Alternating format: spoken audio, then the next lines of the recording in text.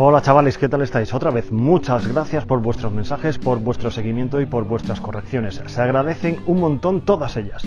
Se agradece también que estéis esperando a que subamos vídeos de extremo duro, pero nos tenéis que dar unos días entre vídeo y vídeo porque nos gusta que lo que contemos sea algo nuevo, que realmente sea algo disfrutable y que aporte cosas para todos los seguidores de extremo duro. Por eso necesitamos un proceso de documentación, de guion, de grabación y luego al llegar a casa de edición. Y todo ello en los ratos libres que nos deje el trabajo.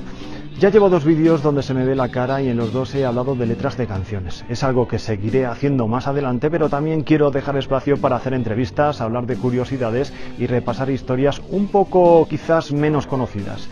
Y eso es lo que voy a hacer hoy. Me voy a ir al comienzo de todo y voy a hablar de los difíciles comienzos de Extremoduro en Plasencia y de cómo muchas veces encontraron más trabas que estímulo a su capacidad creativa.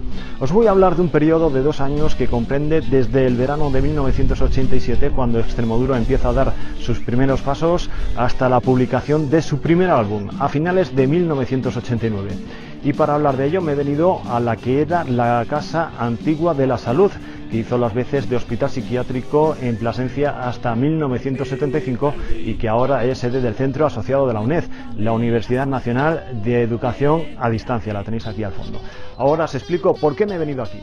Como sabéis, antes de formar Extremo Duro, Robé venía de dar sus primeros pasos en una banda de corte punk que se llamaba Dosis Letal, compuesta además por Luisma, Juano, Paco Dóniga y Zosi. Fueron años donde las drogas estuvieron muy presentes tanto en lo musical como en el día a día y a alguno de ellos le pasó factura en lo personal.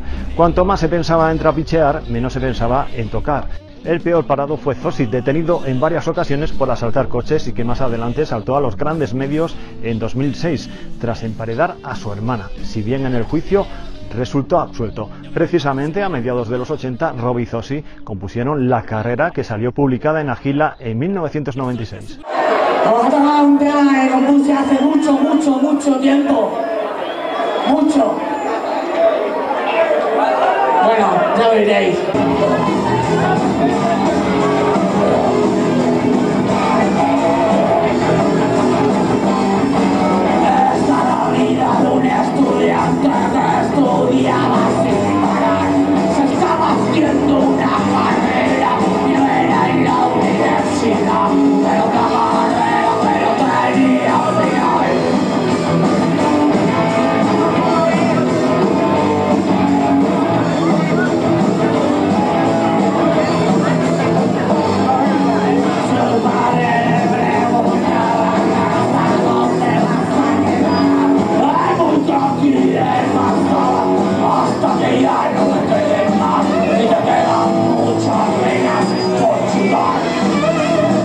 Roberto Iniesta no fue ajeno a estos años de experimentación con las drogas y se puede decir que vivió sus años más complicados. Hubo poca producción musical o artística, pero sí un montón de vivencias personales a las que recurrió posteriormente en sus primeros discos. Dejé la heroína mucho antes de empezar con Extremo Duro. Le eché cojones y la dejé solo. Siempre he hecho todo solo. Una vez rehabilitado, Robé empieza a componer cositas y se dice a sí mismo, quiero dedicarme a esto empieza a buscar músicos fuera del núcleo de dosis letal y encuentra a Caito al bajo y William a la batería. Acuden a Madrid y graban una primera maqueta que incluía dos temas, Extremadura y Romperás. Era el verano del 87. Ya por esa época Robé empieza a entablar una relación de amistad con Gonzalo Muñoz Salo, seguramente el músico más contrastado de Plasencia en esa época. Robé admiraba profundamente a Salo y siempre andaba detrás para que le enseñara cosas con la guitarra. Su unión definitiva tardó meses en llegar, pero antes de eso se decidieron a poner en marcha el colectivo de músicos de Plasencia, desde donde se pretendía reforzar el gremio del norte de la región. Salo era su presidente y Robe era el vicepresidente. La sede del colectivo se fijó aquí, en la antigua Casa de la Salud, donde se reunían, donde a veces ensayaban y donde intercambiaban experiencias y conocimientos. Incluso sus paredes, salones y jardines sirvieron para hacer el book promocional de la primera maqueta.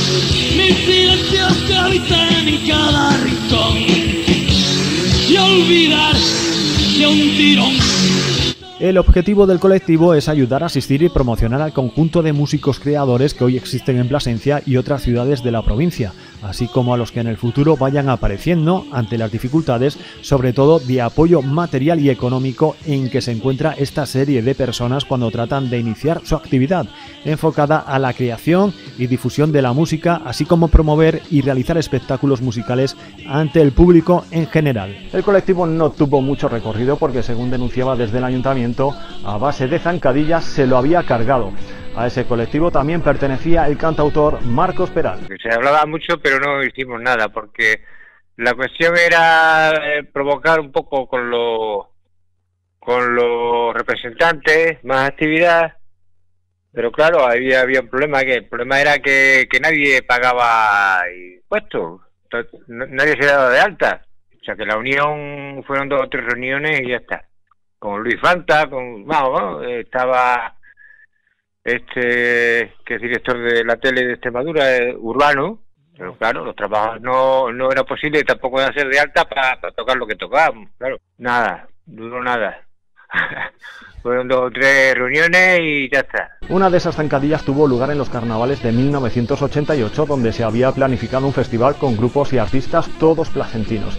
Eran seis o siete horas con un par de intervenciones de cada uno, pero al final no se pudo celebrar como estaba previsto. La prueba está en que la única vez que nos han dado dinero para hacer la historia de los carnavales, que nos dieron 600.000 pesetas, se aprobó un viernes y el festival era el sábado. Con tan escaso tiempo no se podía organizar. Y si eso no es una zancadilla, pues que venga Dios y lo vea. Eso tiene que estar preparado con un mes de antelación. Al colectivo le han ido matando a base de zancadillas como esa, una detrás de otra, hasta que nos hemos desmoralizado y nos hemos venido abajo. El colectivo de músicos de Plasencia no cuajó más de unos meses, pero a Robe le sirvió para establecer lazos de unión con Salo y con Luis Bonfanta, que también pertenecía al colectivo y que estaba tocando en indecisión momentánea. Robe fue una esponja y aprendió todo lo que pudo de Salo, que aceptó empezar al bajo por su mayor versatilidad. No, no, no, el tío controlaba, joder, que sí controlaba. Claro que controlaba, sí. Salo le puso en línea. Él buscaba un cantante. Estuvieron hablando con un Juano, pero no, no llegó a funcionar la cosa. Paco, un compañero mío de, del grupo, Paco Dóniga, le decía, le decía a, a Roberto, dice, pero tú qué cojones tienes que buscar un cantante ni nada, si las canciones las has hecho tú, ¿quién mejor que tú las vas a cantar? Por eso cuando entraron con, con la rueda aquella de Yamaha, que fue lo que le levantó, le pusieron las pilas de tú te tienes que cuidar y la voz para seguir aquí con esto. El colectivo de músicos de Plasencia, antes de cerrar sus puertas, llevó a cabo un festival en la Torre Lucía el 1 de octubre de 1988. Empezó a las 9 de la noche, valía 300 pesetas y participaron Extremoduro de Plasencia, Morgaño de Navaconcejo, un pueblecito del Valle del Jerte, Arcángel de Cáceres y Golfos Pérsicos de Badajoz. El festival tuvo tono reivindicativo contra el Día de Extremadura, celebrado semanas antes, y contra el excesivo gasto de la Junta en contratar artistas de fuera de la región. ¿Quién ha organizado el Día de Extremadura?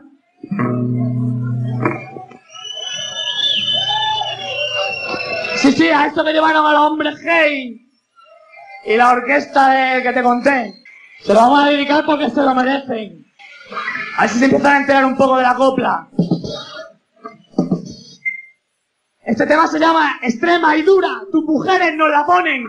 Son deshonestos e ignorantes y no sé cuál de las dos cosas son más. El día de Extremadura, que es cuando más pelas se pueden gastar, se traen un montón de gente de fuera. Y no me parece mal, pero si te vas a gastar 50 millones y con un solo millón puedes llevar a casi todos los grupos de la Tierra, pues yo creo que lo que tienes que hacer es invertir en la cantera. No se va a notar en los 50 millones. No llevar tanto rollo patatero, ni tanto Julio Iglesias, ni tanta Montserrat Caballé, que nos hundió el escenario de Mérida y toda la hostia. Y mientras siga siendo así, Extremadura cada vez más puta mierda y cada vez menos gente y cada vez menos rollos. Y todos los grupos o salimos de allí o nos morimos del asco. Tras esa actuación, Extremoduro emprendió la financiación para grabar su primera maqueta, vendiendo por anticipado 250 participaciones de 1.000 pesetas cada una. No era suficiente y Robe solicitó una subvención al ayuntamiento para poder afrontar los gastos y estudiar la posibilidad de publicar el disco más adelante. El ayuntamiento se la denegó y ahí Robe explotó. El 27 de marzo de 1989 convocó una rueda de prensa y se quedó a gusto. La Comisión de Gobierno ha decidido no atender la petición de que nos contrataran un concierto para recaudar fondos para nuestro disco. Prefirieron, por ejemplo, dedicar 475.000 pesetas para un nuevo despacho del alcalde y otras cosas importantísimas para los placentinos. Y en el concierto dado por Alaska se gastaron más de 2 millones de pesetas, registrándose una asistencia de menos de 100 personas. Como excusa nos dieron un curioso relato sobre una enorme deuda municipal, 600 millones, y alguna crítica moralizante sobre la letra y el contenido de nuestras canciones. Tras la actuación de Extremoduro en el programa de televisión española Plasti y la popularización en todas las localidades del norte de la región, el ayuntamiento de Plasencia iba quedando cada vez más en evidencia y eso que la concejala de Juventud, Elia María Blanco, era fan reconocida y 20 años después, ya como alcaldesa, fue la responsable de su vuelta en aquel concierto mítico de 2008. Elia María Blanco, que entonces tenía un poder muy limitado, trató de lidiar con las posturas más conservadoras de su equipo de gobierno y llegó a convencer a la cadena SER para incluir al grupo en un festival en la Plaza Mayor, donde el cabeza de cartel eran los refrescos. La emisora, previo pago de su mención, aceptó a regañadientes. Era el 25 de agosto de 1989. Extremoduro era la gran atracción y allí había cientos de personas para ver su actuación, no para ver a los refrescos. Finalmente no pudo tocar porque sufrió todo un boicot. Robe lo explicó días después, muy enfadado, en rueda de prensa. El que venía a cargo del programa se lo montó para que no tocáramos. No sabemos por qué. No teníamos camerino y no podíamos meter allí una furgoneta ni un coche. Intentamos por último llevar los aparatos que no podíamos dejar en el escenario y la solución era esperar en un bar a que nos tocara, con el vestuario y con todo. Después de esperar oímos que se nos anunciaba, acudimos, estuvimos cambiándonos detrás del escenario como podíamos y salió un señor que nos dijo que no tocábamos, ni entonces ni más tarde. Se ha dicho que fue porque no queríamos tocar en playback, pero no es cierto. No nos gustaba, pero íbamos a tragar por salir en la radio. De personas que tienen la cara dura de juntar a tanta gente en una plaza y luego les engañan ofreciéndoles un festival en playback, se puede esperar cualquier cosa. Nos tuvimos que cambiar en la calle, estábamos en calzoncillos mientras pasaba la gente. En la vida nos han tratado peor, en cualquier pueblo nos han buscado un camerino donde fuera. A esa rueda de prensa asistió como invitada Elia María Blanco, concejala de Juventud, que tuvo que soportar las críticas hacia su equipo de gobierno a pesar de que era la única postura amiga en el ayuntamiento. ¿Por qué todas nuestras actuaciones nos las cortan? Nosotros no lo sabemos. Nuestras quejas fundamentales son, primero, que no nos dejan trabajar y segundo, que no nos ayudan para nada. El ayuntamiento no entiende de nada, se gasta las pelas de mala manera, trayendo grupos de fuera, siempre pierde dinero y no puede invertir en nosotros, porque eso sí, lo considera como perder, invertir en nosotros. Lo único que han hecho hasta ahora ha sido destruir cada día más la política económica de Plasencia, ofreciéndonos mediocridad, carestía y en la mayoría de los casos personal que ni siquiera conocen muy bien, por lo que el dinero que aquí se genera se va fuera.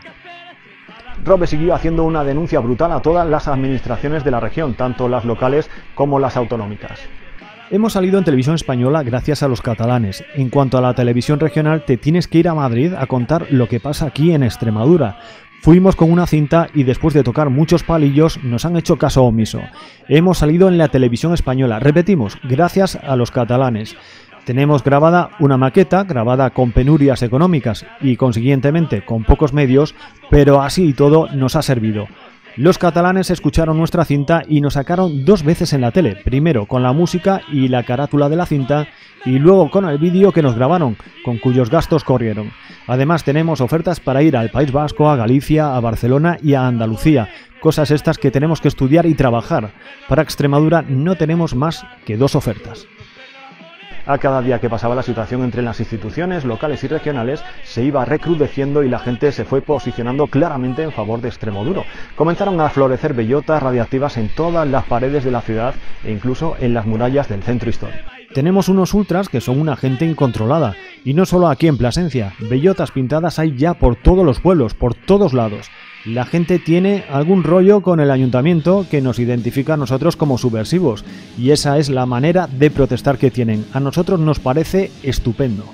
Respecto de lo que dice la gente acerca de que la muralla no había que haberla tocado, porque es muy importante, pues yo digo que la muralla se hizo para que nos defendiéramos los placentinos. No me parece mal que aparezcan pintadas, pues se hizo para eso, para que los placentinos nos defendiéramos. La gente que lo ha hecho creo que lo que pretende decir con ello es que a la juventud en Extremadura no se nos respeta para nada. Elia María Blanco, que no sabía dónde meterse, rechazó la teoría del boicot por parte del ayuntamiento, pero sí es verdad que el ayuntamiento tenía que reaccionar y desterrar esa idea de la cancelación y de la noche a la mañana, días después del episodio con la cadena SER, subvencionó a la COPE con 100.000 pesetas para que contratara a grupos placentinos, con prioridad para Extremoduro en un nuevo festival que se iba a celebrar el lunes 4 de septiembre de 1989. Y en medio de una polémica terrible con fanáticos del grupo y detractores mirando con lupa, sobre todo los de las clases más conservadoras de la ciudad, se llevó a cabo el concierto. Actuó primero Marcos Peral, luego un grupo folk y cerró el festival Extremoduro. Y ahí apareció el roe más reivindicativo para delicia de unos y escándalo de otros, entre ellos el de algún que otro redactor. Aparte del estruendo musical que caracteriza a este tipo de música, la basura de letra que ofrecieron no tenía cabida en un auditorio público y mucho menos cuando la actuación se paga con dineros públicos. No se puede ofender por muy cantante que se sea, de la manera que se ofende en las piezas del repertorio cutre de estos mozos. Y ello no supone que estemos ni más ni menos avanzados, que estemos o no en la movida del modernismo, que nos hayamos quedado atrás o seamos unos carrozas, no. Es que el saber hacer uso de las libertades democráticas es algo que debe presidir todo comportamiento social. La canción protesta puede hacerse sin ofender a personas, instituciones políticas, sociales y religiosas, y si se consigue protestar cantando sin ofender, será cuando pueda dársele valor a los temas tratados. Lo otro es pura basura que en una sociedad civilizada no tiene cabida. A Robe le sentó como una puñalada esa crítica en el periódico más leído de la región, pero con el paso de los años hasta le acabó encontrando la gracia y la llegó a juntar en el dossier que mandaba a los medios para promocionar al grupo. Creo que la crítica sirve porque la gente, la masa, es tonta y la crítica le dice lo que es bueno y lo que es malo. Nosotros no hemos salido mucho en la prensa, pero críticas malas hemos tenido muy pocas. Una en este diario que titulaba La música cutre y las letras groseras no tienen cabida en una sociedad civilizada. Y finalmente, a finales de 1989, sale publicado el primer álbum de Extremoduro, Tú en tu casa, nosotros en la hoguera, pero ya habrá tiempo para hablar de lo que vino después. Bueno, pues hasta aquí el repaso de lo que fueron los dos años más duros en la trayectoria de Extremoduro, que yo creo que definieron mucho las letras del grupo en los primeros discos. Pues sin más me despido, compartid, eh, suscribíos, comentad y dejad todas vuestras preguntas, sugerencias y correcciones que siempre se agradecen mucho, muchísimo. Lo dicho, sed buenos, nos vemos en el próximo vídeo. Adiós. Yo soy Jesucristo García. A mí no vienen a verme los enfermos. A mí viene a verme la gente sana y yo los pongo a todos ciegos.